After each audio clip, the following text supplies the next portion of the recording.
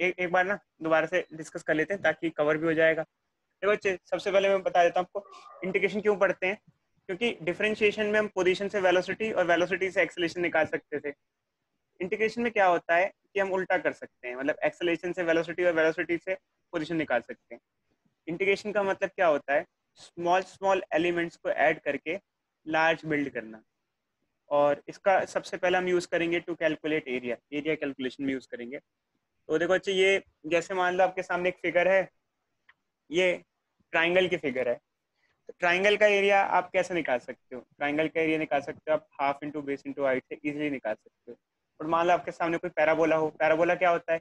एक शेप होती है, आपके सामने दिया हुआ फिगर दी हुई है, ऐसी शेप होती है। इसकी इक्वेशन होती है y is equal to x square या फिर देखो जैसे y is equal to k x square या x is equal to k y square तो अगर जैसे y is equal to x square का ग्राफ प्लॉट करने की कोशिश करोगे कोऑर्डिनेट लोगे तो ऐसा ग्राफ सब मिल जाएगा। ये पैराबोलिक ग्राफ होते हैं। अगर y is equal to k x square है तो अपर पैराबोला ऊपर की तरफ़, अगर y is equal to minus k x square है तो नीचे की तरफ़ पैराबोला आ जाएगा। अगर x is equal to k y square है तो राइट साइड और x is equal to minus k y square तो लेफ़्ट साइड आ जाएगा। तो मान लो हमें टास्क दी जाए कि एक पैराबोला है, जिसकी equation y is equal to x square और उसमें x is equal to zero से x is equal to two तक एरिया इनक्लोज है, वो निकालना है। जो फिगर में दिया बच्चों। ये यहाँ x is equal to zero है और ये x is equal to two है। तो एरिया इनक्लोज कैसे निकालेंगे? तो ऐसे फिगर्स का एरिया हमें पता नहीं होता है। तो हम क्या करते हैं कि इसमें छोटे छोटे रेक्टेंगुलर स्ट्रिप्स ले लेते हैं। उन स्ट्रिप्स का एरिया निकाल लेंगे एक एक का। कोई सी भी एक रेक्टेंगुलर स्ट्रिप लिया आपने, जैसे यहाँ फिगर में दी हुई है, एक रेक्टेंगुलर स्ट्रिप ली तो उसका एरिया जो होगा डी क्योंकि एरिया स्मॉल होगा रेक्टेंगुलर स्ट्रिप का। एरिया होता है लेंथ इंटू ब्रेथ लेंथ को हमने ले लिया, ये लेंथ हो गया वाई और ब्रेथ हो गया डी क्योंकि हमने स्मॉल स्ट्रिप ली है। तो ये क्या हो जाएगा? डी ए क्या हो जाएगा? वाई डी हो जाएगा। अगर आपको कंप्लीट एरिया निकालना है तो आपको इंटीग्रेशन का सारा लेना पड़ेगा। ये इंटीग्रेशन क्या होता है बच्चों? जैसे एक हमारे पास एक वायर है, उसमें छोटे छोटे एलिमेंट्स हैं, सबका length d l d l है। सबको अगर इंटीग्रेट कर दोगे तो टोटल लेंथ एल आ जाएगा। तो यहाँ पर जैसे हमने एरिया निकालना है तो एरिया क्या हो जाएगा? एरिया हो जाएगा integration of d l to y d x total area इस तरीके से आ जाएगा। तो अच्छा ये एरिया क्या हो जाएगा? Integration of y d x doubt बच्चों integration of y d x आ जाएगा। तो अब हम इम्प्लीमेंट करते हैं, जैसे जैसे कि मैंने आपको कहा है कि हमें निकालना है, अगर जैसे टोटल एरिया निकालना है। ये देखो बच्चे ये पैराबोला है। सुन रहे बच्चों? ये पैराबोला है। तो इसका एरिया निकालना है हमें, यहाँ से, यहाँ तक। इसकी इक्वेशन है y is equal to x square कहाँ से, कहाँ तक निकालना है, मान लो? X is equal to zero से x is equal to two तक। बोलो? Hello hello hello hello hello yes sir yes sir yes sir ठीक है तो इसका हमें एरिया निकालना है।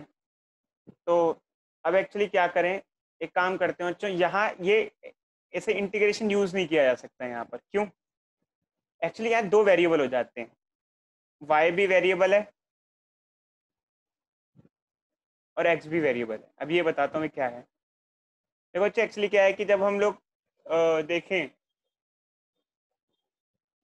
कोई कोई चीज़ ऐसी होती है जिसमें वाई भी चेंज होता रहता है और एक्स भी चेंज होता रहता है। पैरा जैसे पैराबोला की इक्वेशन है। सर ये एक्स एक्स एक्स क्या है? मतलब ये क्वेश्चन यूज़ नहीं कर सकते अच्छी।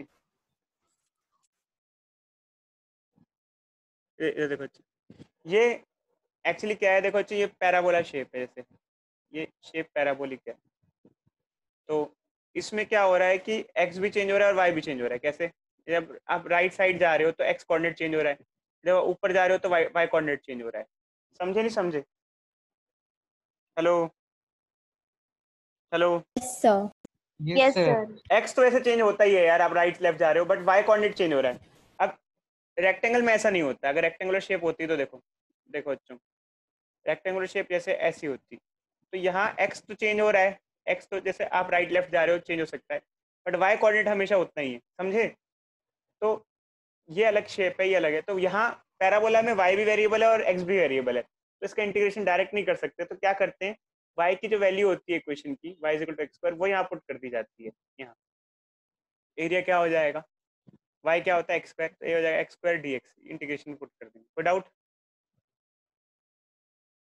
बोलो बच्चों बो, बोलो। अरे भाई बोलो। आ गया सर सर ये कैसे आया? यार y की वैल्यू क्या है? पैराबोला में पैराबोला की इक्वेशन में y y is equal to x square है तो y की वैल्यू एक्स स्क्वायर नहीं लिख सकते यहाँ पर अलोरिका ओके सर ये ये जो पैराबोला है उसकी equation y equal to x square होती है ना बच्ची? नहीं होती इक्वेशन उसकी। बोलो। आगे सर समझ रहे वाई की जगह हमने एक्स स्क्वायर पुट कर दिया तो ये आ गया। अब कई बच्चे कहेंगे सर इंटीग्रेशन वगैरह तो समझ में आ गया बट इसको करें कैसे? ये तो मैथमेटिक्स है मैथमेटिकल फॉर्मूला तो सिखाया नहीं। तो इसका मैथमेटिकल फॉर्मूला सीखोगे तभी कर पाओगे। क्या मैथमेटिकल फॉर्मूला होता है इंटीग्रेशन का? कोई एक फ़ंक्शन है, जैसे एक्स की पावर एन उसका इंटीग्रेशन कर रहे हैं।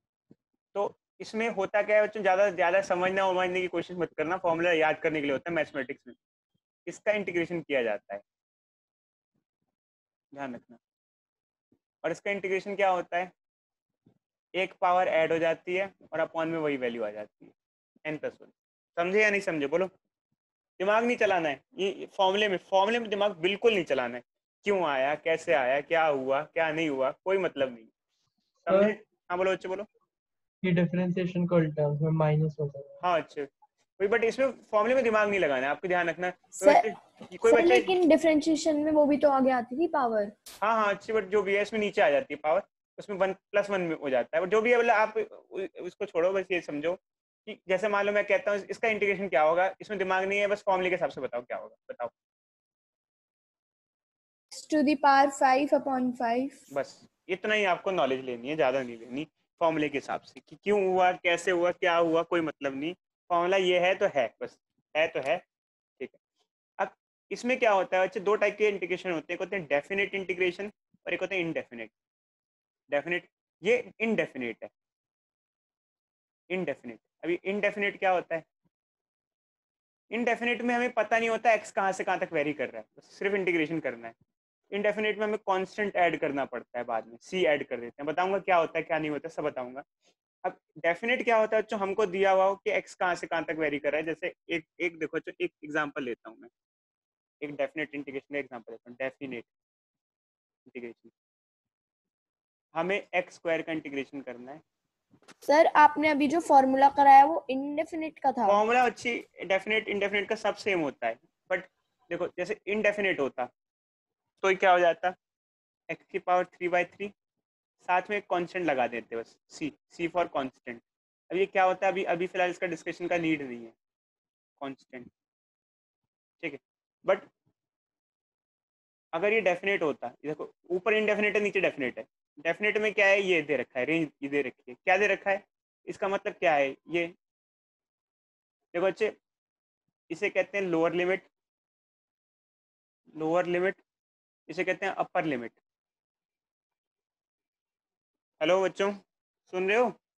यस सर यस सर एक होती है लोअर लिमिट एक होती है अपर लिमिट तो डेफिनेट में हमें पता होता है किसी चीज़ को इंटीग्रेट मतलब ऐड करें कहाँ से कहाँ तक ऐड कर रहे हैं। इंटीग्रेशन कहाँ से कहाँ तक किया जा रहा है। जैसे ऊपर वाले में फिर भी हम डेफिनेट यूज़ कर सकते हैं। क्यों? फॉर्मूले क्योंकि हमें पता है कि कहाँ से कहाँ तक है एक्स की वैल्यू कहाँ से कहाँ तक जा रही है। X is varying x coordinate कहाँ से कहाँ तक है? X is equal to zero to two zero to two तो हमें पता है मतलब डेफिनेट में हमें पता होता है। जैसे मान लो मैं मैंने आपसे पूछा यार ये बताना वी थ्री एस मॉल की टिकट कितनी है? मतलब ये कोई मॉल है उसमें मूवी टिकट कितनी पी आर की? तो और इसके साथ मैंने बोला कि टिकट तो बताओ बताओ और मैंने कहा दस बंदे जाने हैं। तो आपने कहा सर दो सौ रुपये टिकट है दस बंदे जाने हैं तो दो हज़ार रुपये खर्चा आएगा। तो आपने पूरा मुझे बता दिया ठीक है? एक ये हो गया डेफिनेट एक तरीके से। आपने सब कुछ पूरा था पुट आउट कर दिया। इनडेफिनेट मतलब कि अगर मैं पूछूँगा टिकट कितनी है वो कहेगा वो कहेगा कितने बंदे जाने हैं? मैंने कहा एक्स मान लो। तो आप कहोगे कि 200 बंदे हैं एक्स 200 एक्स हो गया। तो समझो अच्छे वो क्या हुआ? इनडेफिनेट हो गया एक तरीके से फ़ंक्शन समझे नहीं समझे? यस सर समझ में आ जिसमें हमें मतलब परफेक्टली मालूम नहीं है कि रेंज क्या है कहाँ से कहाँ तक है। अब इसमें क्या है? देखो इसका इसका इंटीग्रेशन क्या होगा? एक्स क्यूब बाय थ्री हो जाएगा। ठीक है बट इसमें क्या होता है लिमिट्स लगती हैं लिमिट्स वो जो लिमिट्स वहाँ लिखी हुई थी अब उसको यहाँ लिख दिया जाएगा। ये अपर लिमिट है और ये लोअर लिमिट है। ये यूपी नहीं अपर लिमिट और ये लोअर लिमिट कोई डाउट बच्चों बोलो। बोलो भाई बोलो। No sir no sir one by three को बाहर ले लो और ये एक्स क्यूब हो जाएगा। ज़ीरो से टू तक। कोई डाउट बच्चों? वन बाई थ्री बाहर आ गया। अब क्या होगा? पहले एक्स की जगह अपर लिमिट पुट कर देंगे। मतलब एक्स को टू ले लेंगे। फिर माइनस साइन लगाएँगे, फिर एक्स की जगह लोअर लिमिट ले लेंगे। ये समझ में, समझो अच्छे इस स्टेप को अच्छे से समझो। लिमिट्स पुट करना। इसे कहते हैं लिमिट्स पुट कर देना। एक्स तो वेरिएबल है। एक्स तो कुछ भी हो सकता है। तो पहले एक्स की जगह अपर लिमिट पुट की। अपर लिमिट कितनी है? टू एक्स क्यूब की जगह क्या हो गया? टू क्यूब हो गया। फिर माइनस साइन लगाया फिर लोअर लिमिट पुट कर दी। समझे नहीं? समझे? बोलो। यस सर आ गया। तो ये कितना आया? कितना आया? बोलो। ये कितना आ जाएगा? Eight by three eight by three चलो एक काम करो. ये बताओ ये बताओ। एक मिनट रुको ये बताना। जैसे एक्स स्क्वायर है और इसकी लोअर लिमिट है टू और अपर लिमिट फोर है। तो क्या आएगा? कैसे कैसे करेंगे इसको बताना?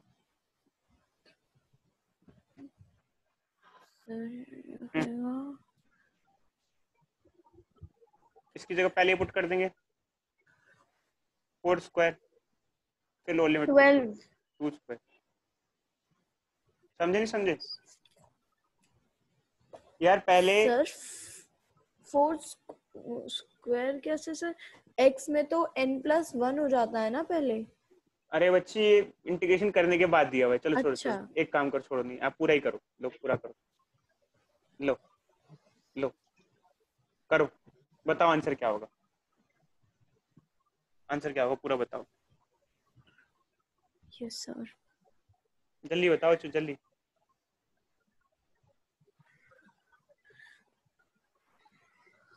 सर एक्स की कोई पावर एक्स की पावर वन है ना?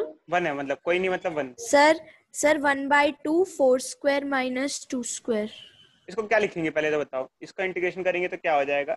एक्स स्क्वायर बाय टू हो जाएगा। कोई doubt no sir Vigyat Arman बोलो भाई। सर सिक्स आंसर आएगा। Vigyat Arman Vigyat. Yes, No. sir. Yes sir ये समझ में आया क्या हुआ? One by one by two को बाहर ले लिया एक्स स्क्वायर हो गया। ठीक है। वन बाय टू को तो भारी ही लेने दो। Upper limit minus lower limit upper limit minus lower limit lower कोई कोई डाउट कोई कोई दिक्कत? कोई दिक्कत? No sir sixteen minus four ऐसे। कर सकते नहीं कर सकते? बोलो। जी सर कर सकते चलो। समझ में आ गया बच्चों? यार आज टाइम Yes, पढ़ते पढ़ते टाइम ऐसा हो गया पता भी नहीं चला। अभी मेरी दूसरी क्लास भी है ना। ठीक है। एक काम करो अच्छा अब ऊपर वाले पे आ जाते हैं। एरिया निकालना था हमें। लिमिट्स पुट कर दें। ज़ीरो से टू बताओ भाई एरिया बता दो। चलो। निकाल लो एरिया